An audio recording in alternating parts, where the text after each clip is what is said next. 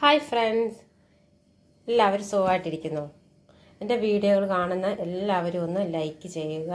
പിന്നെ ഒന്ന് ഒന്ന് ഷെയർ ചെയ്യണം.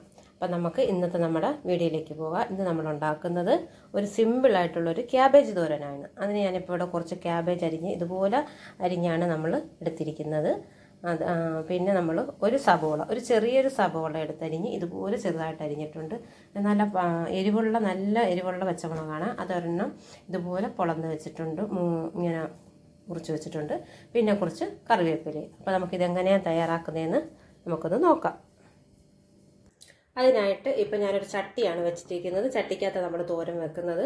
ഇവിടെ ഞാൻ സാധാരണ മെഴുക്കുരട്ടിയാണെങ്കിലും തോരനാണെങ്കിലും എല്ലാം ചട്ടിക്കകത്ത് തന്നെയാണ് വെക്കുന്നത്. അപ്പോൾ നമുക്ക് ചട്ടി നന്നായി ചൂടായി വന്നിട്ടുണ്ട്. ഇതിലേക്ക് നമുക്ക് കുറച്ച് വെളിച്ചെണ്ണ ഒഴിച്ചു കൊടുക്കാം. അപ്പോൾ ചട്ടിയൊക്കെ നന്നായിട്ട് ചൂടായി വന്നിട്ടുണ്ട്. നല്ല കാറ്റ് വീശുന്നുണ്ട് ജനലിൽ കൂടെയൊക്കെ അതാണ് ഒരു സാധനം. ഞാൻ കുറച്ചും വെച്ചിട്ട് വെച്ചിരിക്കുന്നതുകൊണ്ടാണ് ഒരു സൗണ്ട് കേട്ടത്. അപ്പോൾ നമുക്ക് എണ്ണ ഒഴിച്ചു കൊടുക്കാം. എന്നിട്ട് നമ്മൾ പതുക്കെ ഈ ചട്ടി ഒന്ന് ഇങ്ങനെ ഒന്ന് ചുറ്റിച്ചു കൊടുക്കാം. ഞാൻ എപ്പോഴും പറയുന്നുണ്ട് ചട്ടി നമ്മളിങ്ങനെ ചുറ്റിക്കുന്നത് നമ്മൾ ഇവിടെ നമ്മൾ മെഴുക്കുരട്ടി ആണെങ്കിലും തോരനാണെങ്കിലും വെക്കുന്നത് ഇവിടെ പിടിക്കരുത്. അതിന് പറ്റി പിടിച്ചിരിക്കാതെയോ അതുപോലെ തന്നെ അത് കരിയാതിരിക്കാൻ വേണ്ടിയാണ് നമ്മളങ്ങനെ ചെയ്യുന്നത്. അപ്പോൾ എണ്ണ നന്നായിട്ട് ചൂടായിട്ടുണ്ട്. ഇതിലേക്ക് നമുക്ക് കുറച്ച് കടുകിട്ട് കൊടുക്കാം. നന്നായിട്ട് പൊട്ടിയിട്ട് കടുകൊക്കെ നന്നായിട്ട് പൊട്ടിയിട്ടുണ്ട് ഇനി ഇതിലേക്ക് നമുക്ക് നമ്മൾ രണ്ട് വറ്റൽ വറ്റൽമുളക് എടുത്തിട്ടുണ്ട്. എന്നിട്ട് ഇതുപോലെ ഞാൻ മുറിച്ച് വെച്ചതാണ്. അതും കൂടെ ഇട്ട് കൊടുക്കുക. എന്നിട്ട് നമുക്ക് ആ കറിവേപ്പില ഇട്ട് ഒന്ന് ഇളക്കി കൊടുക്കണം. ഇടാതെ ഒരു കാരണവശാലും നമ്മൾ തീ കൂട്ടി വെക്കരുത്. ഇനി ഇതിലേക്ക് നമ്മൾ അരിഞ്ഞ് വെച്ചിരിക്കുന്ന സബോള കുഞ്ഞിനായിട്ട് അരിഞ്ഞതാണ്. അതും കൂടെ ഇട്ട് ഒന്ന് ഇളക്കി വെക്കാം.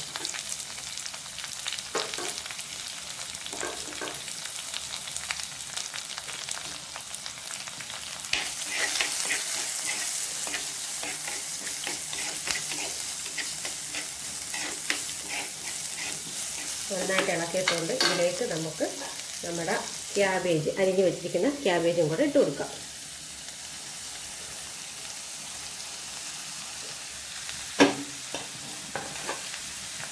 ക്യാബേജും എല്ലാം ഇട്ടിട്ടുണ്ട്. ഇനി നമുക്ക് കുറച്ച് ഉപ്പിട്ട് കൊടുക്കാം. എന്നിട്ടൊന്ന് ഇളക്കി കൊടുക്കാം.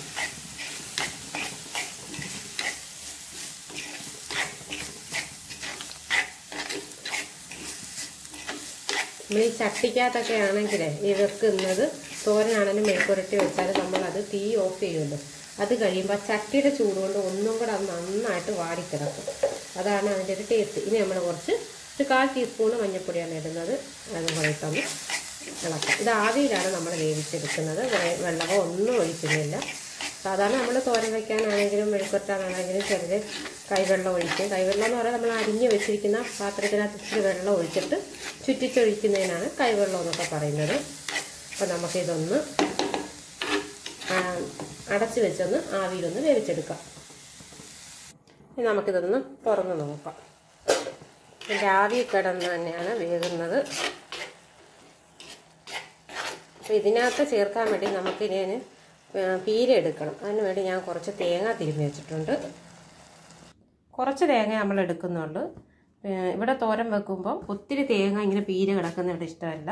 പപ്പാക്ക് മോനും ഇഷ്ടമല്ല. അതുകൊണ്ടാണ് ഞാൻ അവരുടെ ഇഷ്ടത്തിലാണ് നമ്മളപ്പം വെക്കുന്നത്. അപ്പം പിന്നെ ഇപ്പം കുറച്ച് തീര പീര എടുത്തിട്ടുണ്ട്. പിന്നെ ഒരു നുള്ള് ജീരകം കൂടിയാണ് ഞാൻ എടുത്തിരിക്കുന്നത്. നല്ല ജീരകമാണ് അത് എടുത്തിരിക്കുന്നത്. ഇത് നമുക്കൊന്ന് പിന്നെ പീരയ്ക്ക് എടുക്കുന്നവർ ഒന്ന് ക്രഷ് ചെയ്തെടുക്കാം ഒത്തിരി അങ്ങ് അരയ്ക്കരുത്. ഇതുപോലെയാണ് ഞാൻ അരച്ചെടുത്തിരിക്കുന്നത് ഒന്ന് ഒരു സെക്കൻഡ് ഒന്ന് നമ്മൾ മിക്സിക്കകത്തിട്ടൊന്ന് അടിച്ചെടുത്താൽ മതി. ഇതിപ്പം നമുക്ക് ഇതിനകത്ത് വേണേൽ മഞ്ഞപ്പൊടി ഇട്ട് നമുക്ക് ഇതുപോലെ ചെയ്യാം. ഞാനിപ്പം ഈ ഇതിൽ തന്നെ ഈ ക്യാബേജിൽ തന്നെ മഞ്ഞപ്പൊടി ഇടുമ്പോൾ അതിന്റെ ഒരു പച്ച ചുവയൊക്കെ മണവും ഒരു ചുവയൊക്കെ ഉണ്ടല്ലോ മഞ്ഞപ്പൊടിയുടെ. അതൊക്കെ അങ്ങ് മാറും. അപ്പോൾ നമുക്ക് ഒത്തിരി ഇട്ട് അങ്ങ് കുക്ക് ചെയ്യേണ്ട കാര്യമില്ല. അപ്പോൾ നമുക്ക് ഈ അരപ്പും കൂടെ ഇതിനകത്തേക്ക് ചേർത്ത് കൊടുക്കാം.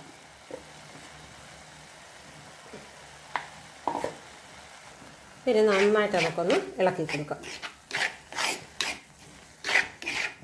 സിമ്മിലിട്ടുകൊണ്ട് നമ്മൾ ചെയ്യാൾ തീ കൂടുകയോ ചെയ്യരുത്. തീ കൂടിക്കഴിഞ്ഞാൽ ചട്ടിയിലാണെങ്കിലും തവ തവയിലാണെങ്കിലും ഒക്കെ അതിങ്ങനെ അടിയിൽ പിടിക്കും. കങ്ങിക്കഴിഞ്ഞാൽ നമ്മൾ എത്ര നന്നായിട്ട് ഉണ്ടാക്കിയെന്ന് പറഞ്ഞാലും അതിന് ടേസ്റ്റ് വരത്തില്ല.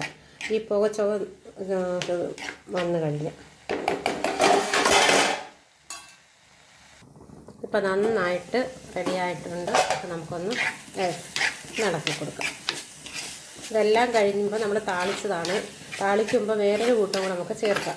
എന്ന് വെച്ചാൽ നമ്മുടെ ഈ ഉഴുന്നുണ്ടല്ലോ ദോശയ്ക്ക് ഇടിക്കൊക്കെ എടുക്കുന്ന ഉഴുന്ന് നമുക്കൊന്ന് ഈ കടുക് പൊട്ടിച്ച് കഴിയുമ്പോഴത്തേക്കും ഒന്ന് അതും കൂടെ ഒന്ന് പൊട്ടിക്കുകയാണെങ്കിൽ നല്ലൊരു ടേസ്റ്റാണ് ഞാൻ പക്ഷേ ഇതിലിപ്പോൾ ഞാൻ ചെയ്തിട്ടില്ല അങ്ങനെ.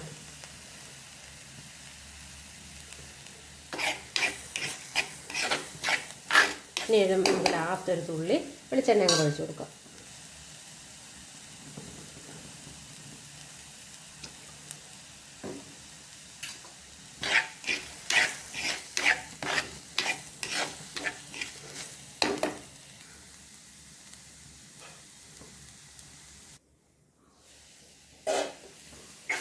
നമ്മുടെ ക്യാബേജ് തോരൻ വളരെ ഈസി ആയിട്ട് വളരെ പെട്ടെന്ന് നമുക്ക് തയ്യാറാക്കി എടുത്തിട്ടുണ്ട്.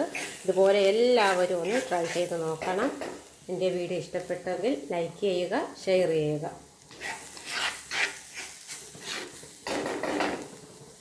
Okay thank